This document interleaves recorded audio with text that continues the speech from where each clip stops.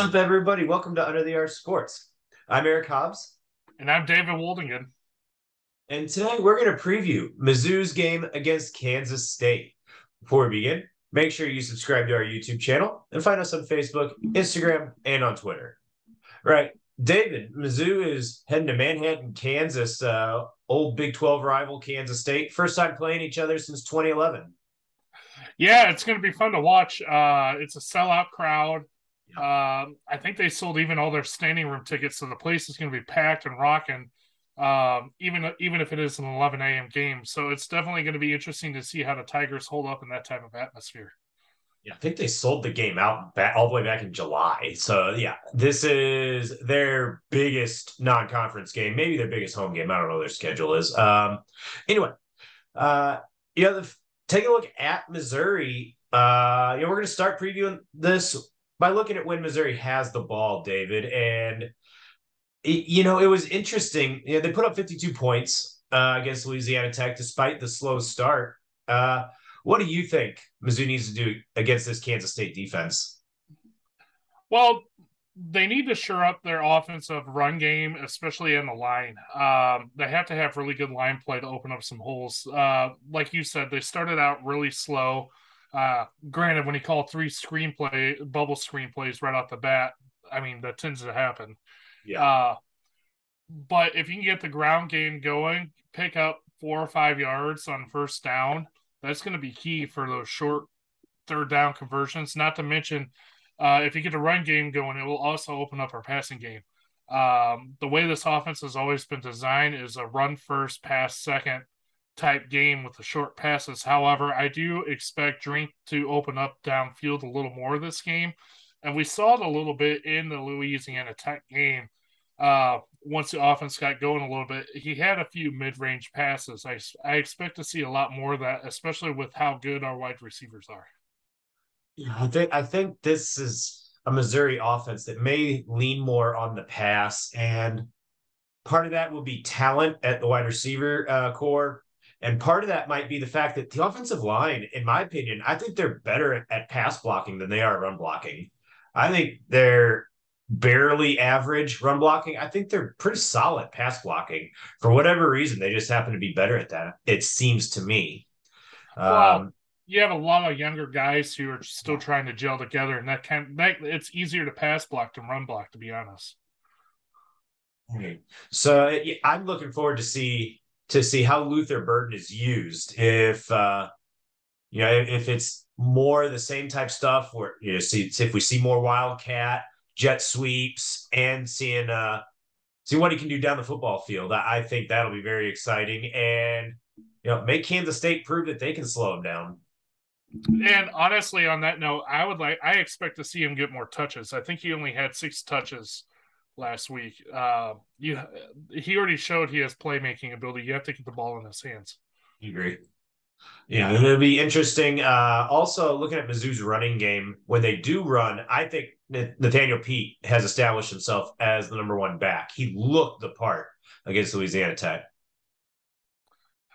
Yeah, and honestly, all three of our running backs had to kind of make their own game out of it because the line wasn't doing a whole lot hole wise. So uh, a lot of their yards they got after they had initial contact. So it is I agree with you. I think you'll see him start taking more of the snaps, more of the reps, uh, but they'll still be using three backs.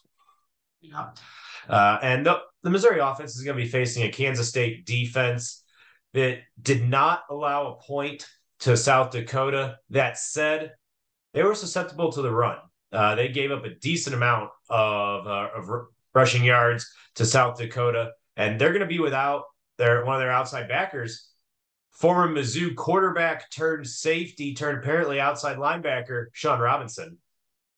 Well, and it's worth noting also that uh, South Dakota didn't have two of their starting offensive linemen in that game, so that kind of makes it even more interesting.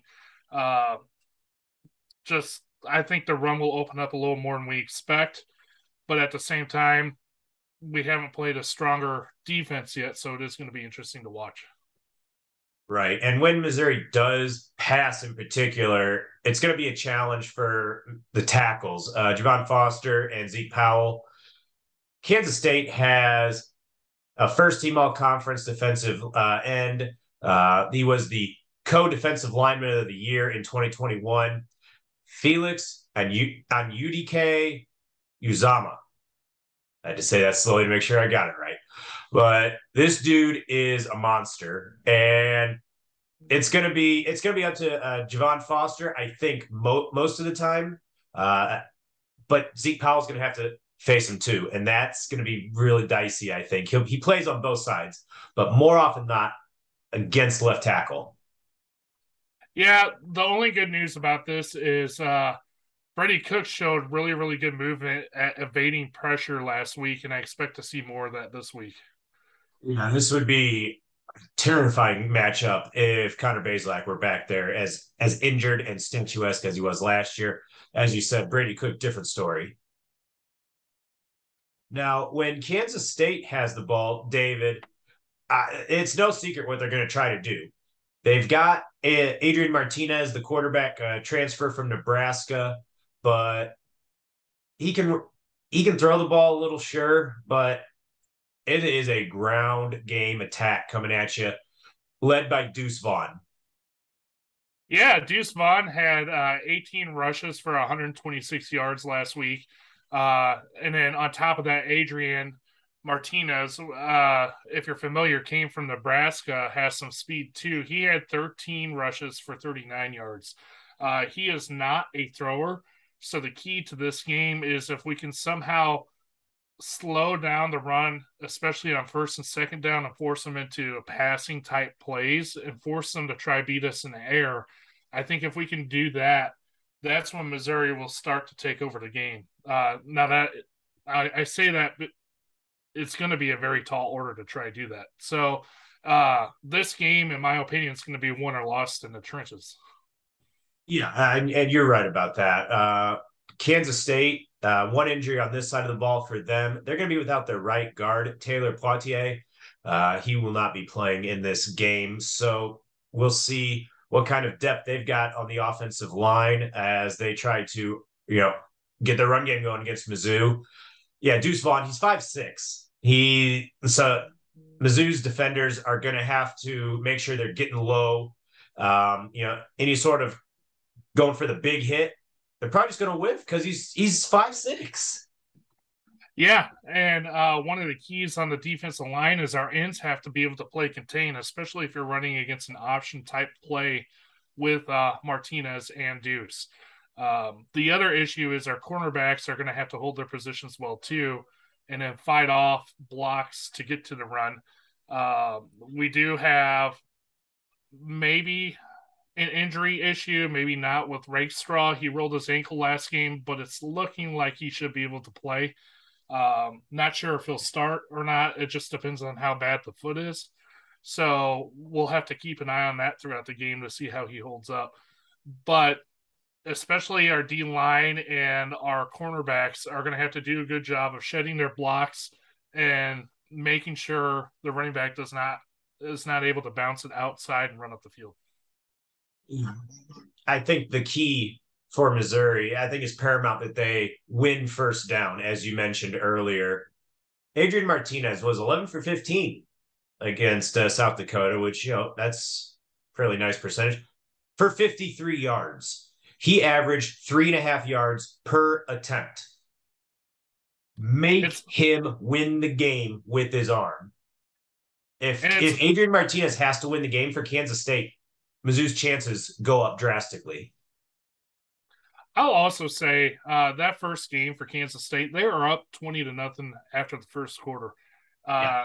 They put away their playbook uh, to save a lot of their stuff for the Mizzou game. So I honestly expect there's going to be some play action. So our safeties are going to have to make sure they don't bite down and give up a big passing play like they did against Louisiana Tech.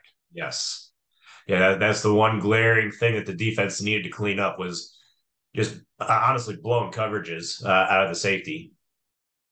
So moving into predictions for this game, uh, you know, David, last week you picked Mizzou to win. They did. You picked Mizzou to cover. You picked 52 to 17. That was the score until a garbage time touchdown, 50 seconds to go, made it 52 to 24 and robbed you uh, of all glory of nailing the prediction. Yeah, that's super frustrating. That's like having a block kick with two seconds left in an LSU type game.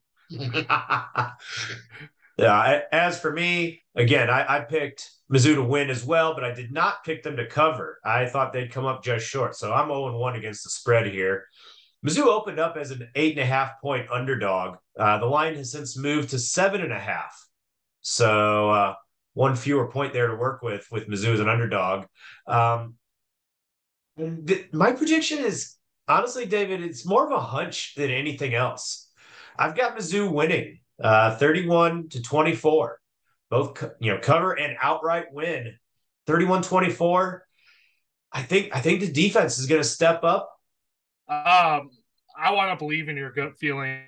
Uh, however, I have Kansas State winning this game 28-24 and I, I'll say this, it was probably the hardest pick I've ever had to do just because yeah. I don't know what to expect out of Mizzou. Um, I don't have a whole lot of faith that their run defense can do what they do until they show me. Um, their last five games last year, they improved greatly, and then the first uh, last week they allowed eight rushing yards against a spread team. I just don't know what we're going to see against a good run team.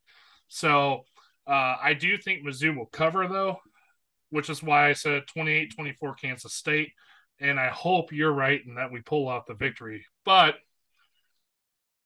we're just gonna have your to watch. Pick, honestly, your pick's probably smarter, but we'll see what happens. Yeah. Uh, I, however, I will say this: the over under for this game was set at 57, and I think the under is going to hit on this game. So, anyway, that's all we have for this week's uh, pregame setup for Under the Arch Sports. Thank you for watching.